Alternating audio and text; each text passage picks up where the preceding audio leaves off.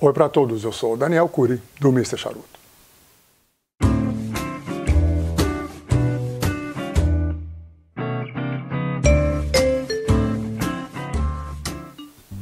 Eu havia planejado fazer um review hoje, tinha até separado o cigarro, mas quase de última hora, eu detesto fazer essas modificações assim de última hora, eu resolvi fazer um vídeo que fosse mais uma conversa minha com vocês a respeito de alguns temas que as pessoas sempre me perguntam ah, e também é assuntos que eu vejo que são recorrentes na, no canal e no, nos comentários feitos no canal e também no grupo de WhatsApp. Então eu, eu terminei selecionando três pode-se dizer três perguntas. Eu acabei a, a, juntando em três perguntas algumas perguntas que me são feitas, de maneira de, de, de conseguir relacioná-las e dar uma certa continuidade, uma certa lógica para o vídeo. Então, é, eu acho que eu vou conseguir cobrir a, tudo que eu queria falar partindo dessas três perguntas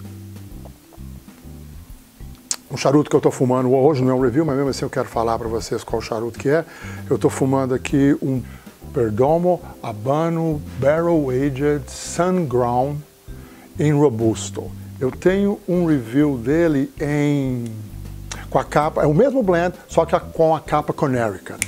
Se vocês estiverem interessados, eu vou colocar o card aqui também, vocês podem dar uma olhada nele. Esse, vamos dizer que ele é um pouquinho mais ah, com um body um pouco mais alto, um body mais forte, um pouco. Seria um médio e o Connecticut seria um, um, um suave, né? Um mellow body. Mas, gente, as três perguntas que eu pensei são as seguintes. A primeira é: charuto faz mal à saúde? Eu já toquei um pouco nesse tema na, no vídeo Informações para Iniciantes, mas eu quero ir um pouco mais fundo agora nesse tema, falar mais algumas coisas. Ah, da minha experiência, o que eu acho, que é mais ou menos isso que eu quero falar com vocês hoje, é sobre o que eu acho das coisas, sobre esses três temas. O segundo é uma pergunta que me fazem sempre, é qual charuto que eu gosto?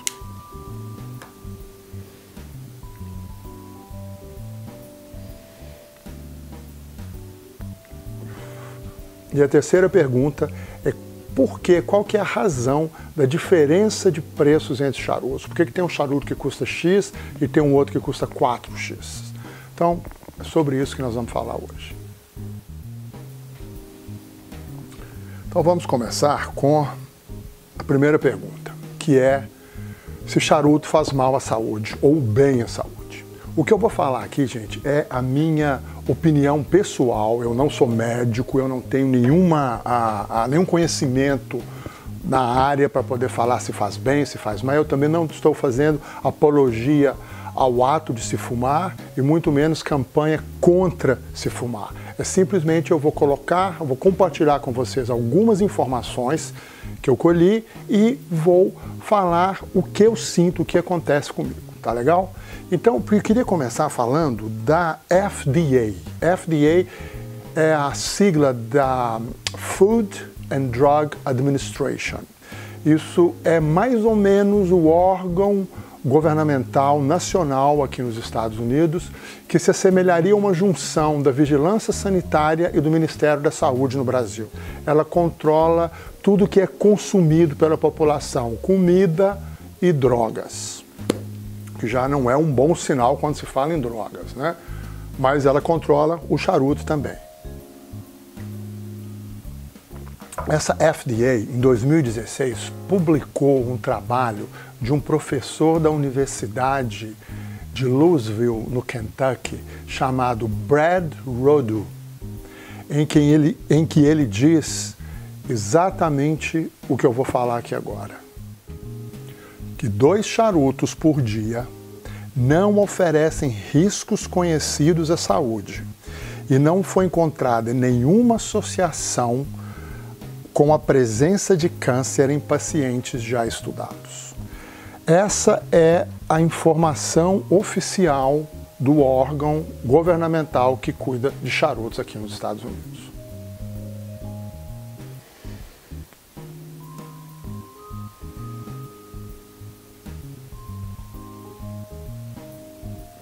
É animador. para gente que fuma. Mas a gente não pode esquecer que nos charutos existe nicotina. E existem inúmeras publicações, estudos e experiências que mostram que a nicotina é um, uma droga, um problema, causa inúmeras doenças. Agora, a gente pode pensar o seguinte: tal qual a nicotina, a gente consome fritura, a gente consome a química, a, comidas que, são, sofrem tratamentos químicos que não são saudáveis, a gente consome açúcar, a gente, a, eu, por exemplo, tenho um problema de não ter comido muita fibra alimentar. Quando eu era mais jovem, eu tenho um problema sério no, no, no, no, intestino, já tive que fazer uma cirurgia até. Então, alguns hábitos, algumas ah, práticas diárias da gente podem nos causar câncer, assim como dizem, está provado, que a nicotina e o hábito de fumar causa. Uma grande diferença que o cigarro tem com o fumante de charuto, eu trato disso no vídeo de informações para iniciantes, é o fato de que os charutos não foram feitos para serem tragados.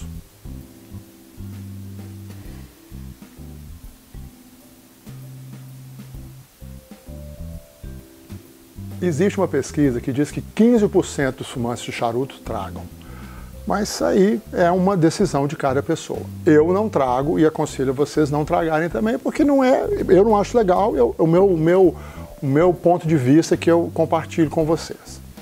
Então, a nicotina, como sendo uma substância externa ao corpo que entra na nossa corrente sanguínea pelo ato, através do ato de fumar, ela traz algumas ah, coisas que, algumas sensações que eu acho agradáveis.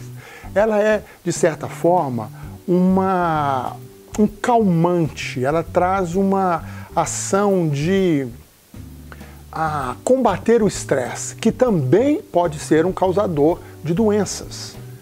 Então, é, eu estou vendo, eu, ve, eu vejo aí, eu sinto aí um lado benéfico no ato de fumar um lado que eu diria até saudável, que me traz um, um conforto, me traz uma, uma, um prazer orgânico de estar tá ingerindo nicotina. Uma, um outro aspecto que para mim também significa ah, um bem-estar que o charuto me traz é o tempo que eu, ah, que eu despendo fumando. É um tempo em que eu uso ele para mim mesmo, um tempo para leitura, para ouvir músicas, para relaxar, para colocar as ideias no lugar, para cruzar as informações que eu recebo, gerar conhecimento para mim mesmo e para depois até usar em conversas aqui no canal e vários toda sorte de conhecimento, de informação que a gente recebe no dia, coisas profissionais. Então é um momento, enquanto eu estou fumando, esse tempo em que eu fumo, é um tempo que me dá prazer também, que evita o meu estresse, que me dá uma qualidade de vida. É o charuto sendo, ah, colocando na balança o que ele pode ter de, de, de maléfico e o que ele tem de benéfico.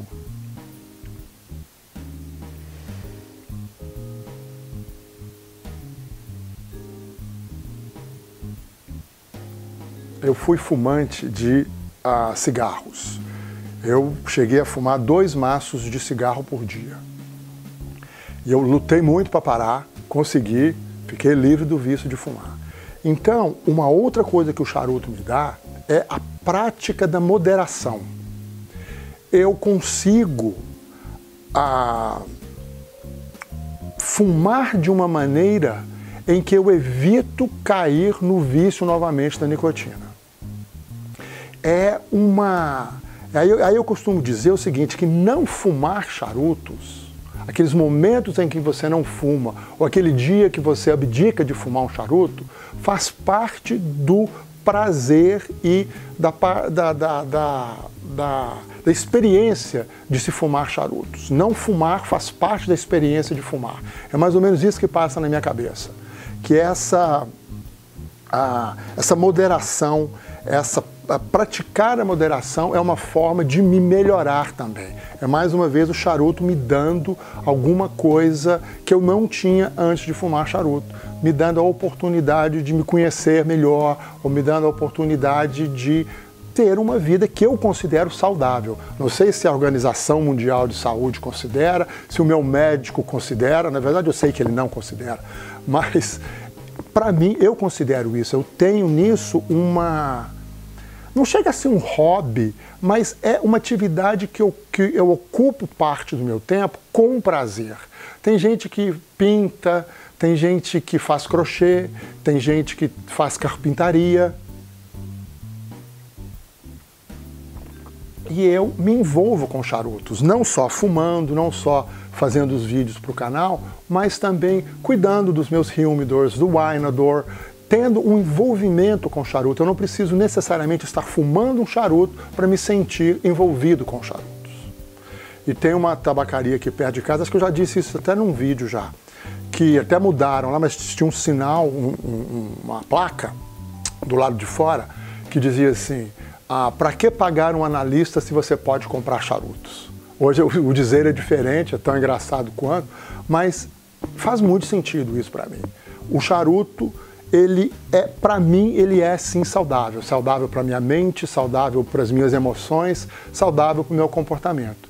Para o meu organismo, ele deve fazer alguns maus, como outras coisas me fazem mal, mas eu tenho recursos, eu posso me alimentar bem, eu posso praticar esportes, eu posso dormir as horas necessárias e tudo. Então, é a, a, essa é a minha as informações e a experiência que eu queria falar para vocês a respeito de a, da charutos serem ou não saudáveis. A segunda pergunta é qual charuto que eu gosto. Normalmente eles me fazem essa pergunta no plural, quais charutos que eu gosto, mas também fazem no singular. E eu optei em a, a, a colocar essa pergunta no vídeo no singular, porque eu não quero falar quais são as marcas, quais são os blends que eu gosto. Porque, na verdade, eu gosto é do charuto. Isso é que é a minha. A, o, que me, o, o, que me atrai é o, o charuto em si, tá certo? É descobrir um charuto, é entender o que que aquele charuto tem, é saber o que que aquele charuto é. Essa, essa que é a grande a, atração que eu sinto pelo charuto. Claro que existem coisas que me que a, interferem no fato de eu gostar ou não de um charuto. O blend, o body desse charuto, o strength, a bitola, o gauge, a construção do charuto, a performance do charuto, o design do charuto também, a, o design da band, a parte gráfica, é uma coisa que para mim é, é, é interessante, eu, eu, eu, me interesso e procuro sempre verificar isso no charuto. E também a aparência do charuto em si, a, a cor da, da, do wrapper, a textura, se ela é oleosa, se ela não é. Isso é o estudo que eu falei são fatores que junto com o horário que eu estou fumando, junto com o que eu comi antes de fumar aquele charuto, vão me dar uma perspectiva daquele charuto. Vão me a, a, vão ser fatores que eu vou colocar na balança para ver se eu gostei ou não de um determinado charuto mas, de novo, eu quero repetir que é o charuto, é esse conjunto todo que forma um charuto que, que é o que me interessa. Outra coisa também é o que acompanha o, o, o charuto no, no, meu paladar. Eu nunca como quando eu estou fumando, é uma coisa que não dá certo para mim, estraga completamente o meu, o, o meu paladar. E eu ah, sempre levo em consideração se eu estou tomando café, se eu estou tomando água, uma bebida alcoólica. Agora, recentemente, eu descobri o chás. Hoje eu estou tomando. Opa! Hoje eu estou tomando café. E ah, acho que o, o, aspecto que mais me atrai no charuto, que mais me. Ah, ah, mais me, me, me, me, dispo, me faz ficar disposto a entender um charuto é o tempo, são todos os, ah, todos os tempos que um charuto tem. Primeiro, o tempo que eu tenho fumando um charuto, que é, como eu disse, um momento de satisfação para mim.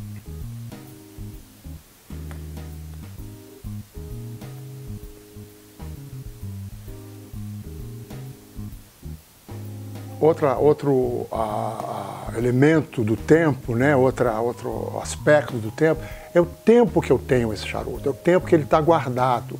Eu tenho uma preferência por charutos que têm um pouco de envelhecimento. Então, se eu sei que aquele charuto já está algum tempo guardado, que ele está no Rio Midor há um ano, dois anos, três anos, aquilo eu começo a criar uma relação com o charuto, tipo esperando o momento certo de fumá-lo. É quase um flerte que rola com o charuto.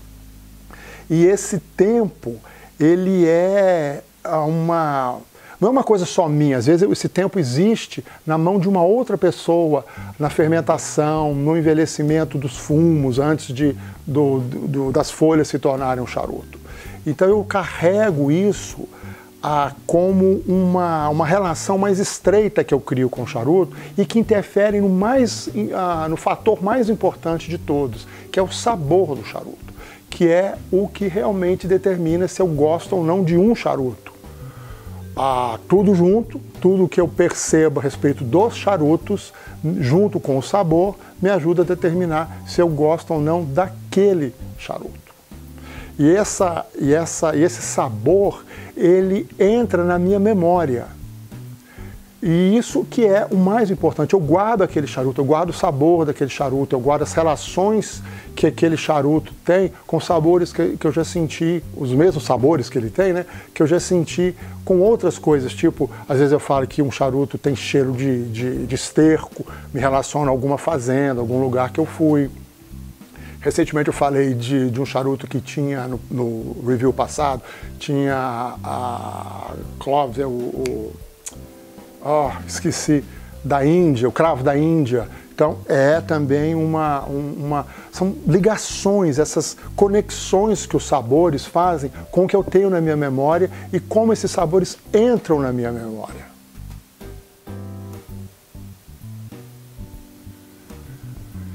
Eu acho também que esse tempo que o charuto está envelhecendo comigo, é uma forma de, eu disse que era um flerte e tudo, mas também é uma forma de respeitar o charuto. É uma forma de dar tempo ao charuto, de me conhecer e se preparar para me entregar o que ele tem de melhor, para ele soltar os sabores deles. Um charuto ah, recém-comprado, ele, eu não, é como se eu não tivesse uma relação pessoal com ele. É como se ele, eu e ele não estivéssemos prontos para o momento da fumada. Porque, na verdade, o charuto é o grande companheiro do momento da fumada. Ele é, eu não, eu não fumo sozinho e ele não é fumado sem a minha presença. Então, essa interação completamente fictícia que eu faço, né, do, do, do, do charuto sendo guardado, isso está gerando ali uma, uma, uma interação minha com ele, ela se materializa em quando eu estou fumando esse charuto.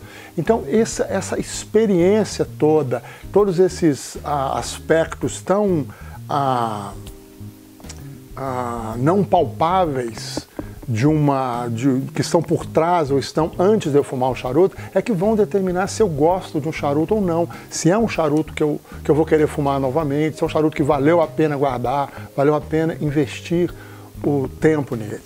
E de todos os aspectos eu falei muito pouco, quase não falei da marca do charuto, porque a marca não, para mim, não faz diferença. Existem marcas melhores do que as outras, é óbvio, existem marcas que a, a produção dos charutos, a, a, o trabalho das pessoas, o plantio, a colheita, a fermentação, nessas marcas são mais bem feitos, são mais cuidadosos, são mais elaborados, e aí nós vamos cair na terceira pergunta, que é o preço, está muito ligado a isso também. É, essa marca ela não necessariamente ela não determina para mim se o charuto é bom ou se ele é ruim. Aquela história que as pessoas, alguns ditos, né, algumas, algumas a, a, frases que são repetidas acriticamente no mundo do charuto, do tipo é, tal marca não tem erro, se é dessa marca é bom, o melhor charuto que existe é aquele que está aceso na sua mão e você está fumando. Essas frases não colam comigo. Eu não concordo com elas em hipótese nenhuma. O, o, a marca é um elemento não é o mais importante nunca. O mais importante é o tempo que o charuto tem, é o tempo que o charuto foi cuidado para ele ser fumado. Ali é que mora ao segredo de um charuto ser bom ou não ser bom. Bom, a terceira pergunta é por que, que os charutos têm preços tão diferentes? Às vezes a gente encontra um charuto que é muito barato e um charuto muito caro. Para exemplificar, para responder essa pergunta, eu vou pegar uma fábrica, que é uma das fábricas que fazem parte daquele grupo de, de, de, de, fábricas que eu chamo de um novo charuto americano. Tem até um vídeo sobre ele, eu vou colocar o card aqui agora, que é o mercado americano de charutos. São a fábricas que tem um blender que é um autor de charutos. Ele tem um conceito quando ele faz um charuto, ele está buscando alcançar alguma coisa, ele tem sabores em mente que ele quer tornar realidade num charuto é, uma, é o, o, tipo de charuto que mais me interessa fumar. Tá? Essa fábrica ela tem, do, que eu vou falar aqui agora, né, sobre dois charutos. Um custa 5 dólares e o outro custa 17 dólares a unidade. Os dois têm o mesmo tamanho, a mesma bitola e o mesmo wrapper. São touros com wrapper Connecticut Shade. O primeiro é, o que eu vou falar, é o mais caro, de 17 dólares.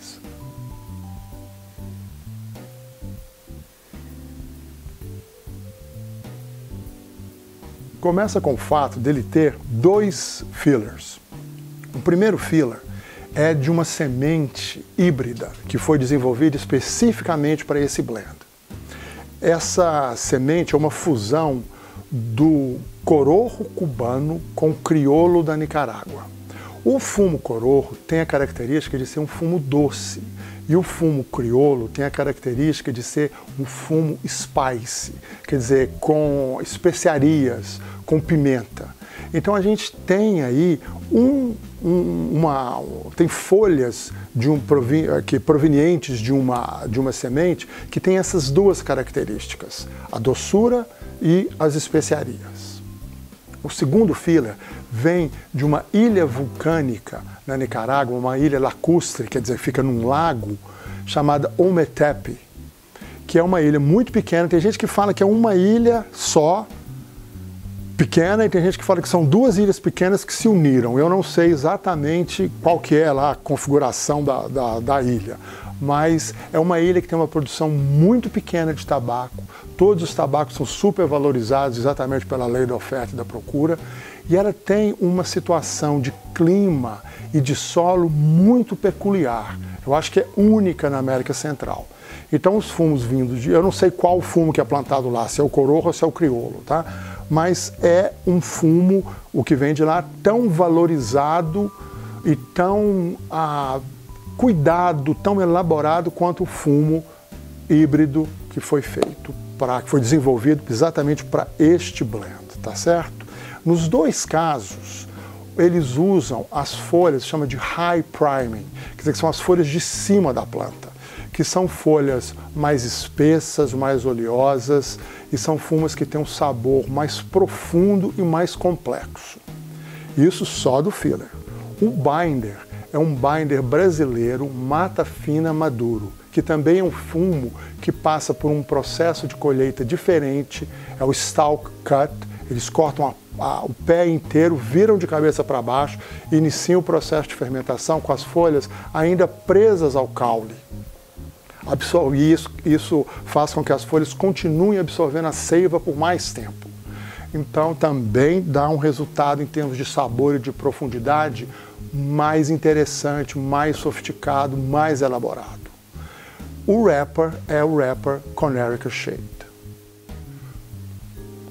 Além disso, esse blend ele foi desenvolvido a partir de uma ideia inicial que o blender teve, porque ele conheceu um castelo aonde ele se encantou pelo castelo primeiramente e ele descobriu que ali, no início do século XX, aconteciam várias festas e o charuto era muito ah, presente nessas festas.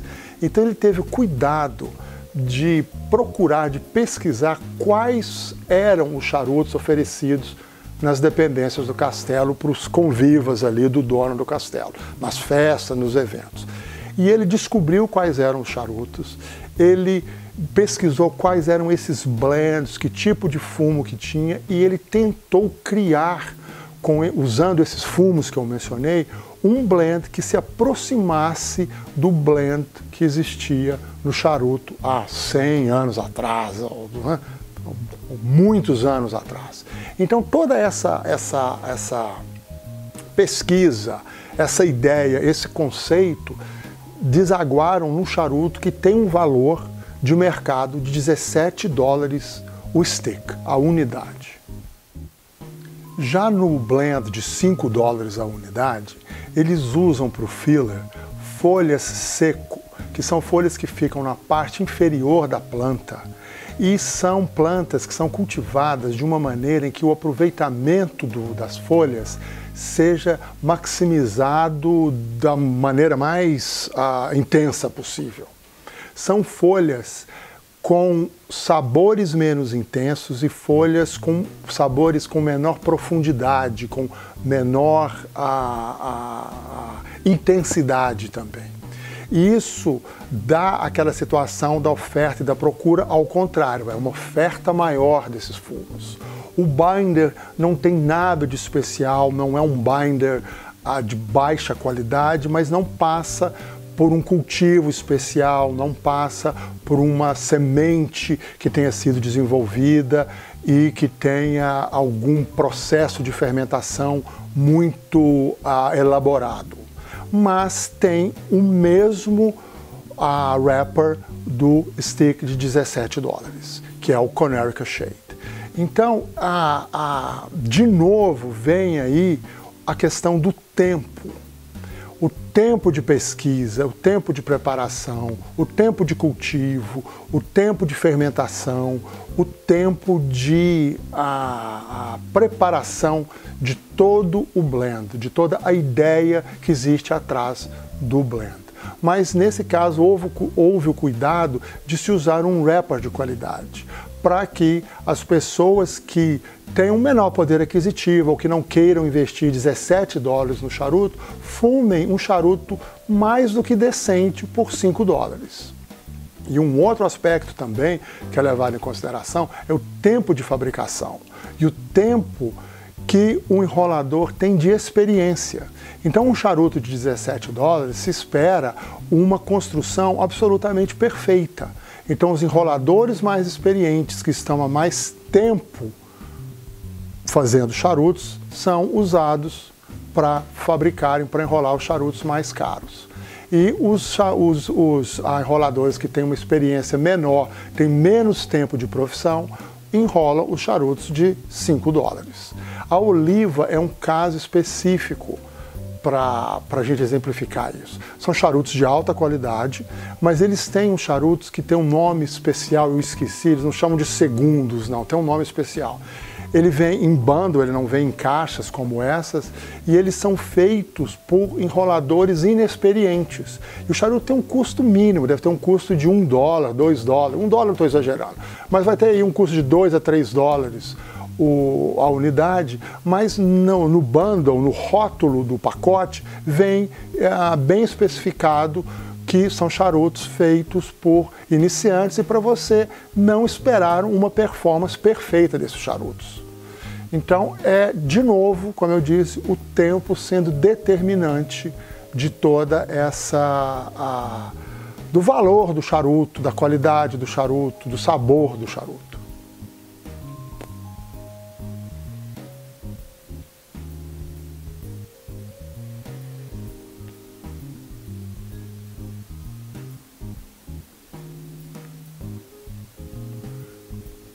E para terminar esse vídeo, eu queria ressaltar a, o que eu acho que é a grande a, adição que o tempo traz para os charutos, que é uma combinação perfeita de suavidade com complexidade dos sabores. Essa, esse par de suavidade e complexidade só é alcançado com o passar do tempo eu acho que não só no passar do tempo, do envelhecimento dos fumos antes de serem enrolados, como do envelhecimento dos charutos já enrolados e também o envelhecimento dos, dos, das pessoas que enrolam o charuto e das pessoas que criam o charuto. É a experiência, é o conhecimento que unidos, que conseguidos através do passar do tempo, oferecem para nós produtos de grande qualidade. Nos oferecem charutos que são memoráveis. São charutos que a gente vai levar com a gente por muito tempo. Tá certo? Então, mais uma vez, muito obrigado por terem assistido. Quem pede normalmente uns vídeos mais longos. Acho que essas pessoas vão gostar desse vídeo que ficou bem longo. E quem acha os vídeos longos, me desculpe, mas esse assunto era um assunto que eu tinha muita coisa para falar e acho que eu ah, consegui falar tudo o que estava dentro de mim, tudo que eu queria compartilhar com vocês. A respeito do tempo e a respeito do que, que o charuto significa para mim, em, ah, usando essas três perguntas como uh, um gancho para tocar nesses assuntos. Então, semana que vem eu prometo que eu faço um review. Até lá e fumem bem.